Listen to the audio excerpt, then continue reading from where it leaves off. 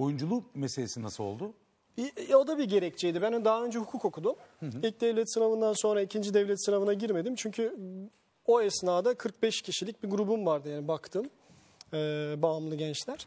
E, ama başka gettolar da vardı, başka gruplar da var. Başka gruplara giremeyen çocuklar da var. Onlara nasıl ulaşırım derken e, ilkokulda aldığım tiyatro aşısını hatırladım ve herkesin evinde bir aptal kutusu var sonuçta.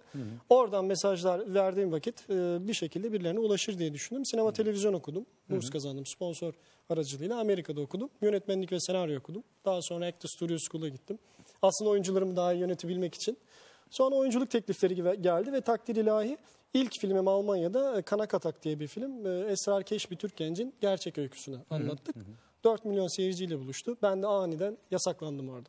Çünkü böyle canlı yayınlarda birden işte tedavi merkezine niye Türkler alınmıyor, niye atılıyor falan dediğim vakit böyle Rusya'ya yolladılar beni film çekmek için bilmem nerelere. Sen bir Sonra bir yere sürgün yemişsin yani. Evet ama çok yani acı verdikleri sürece özgür olduğumu hatırlıyorum.